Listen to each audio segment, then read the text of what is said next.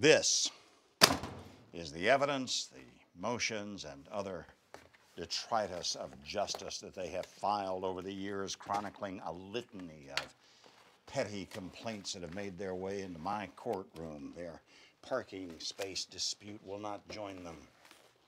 Okay, great. I'll get on this, sir. It's on the schedule for tomorrow, 9 a.m. What?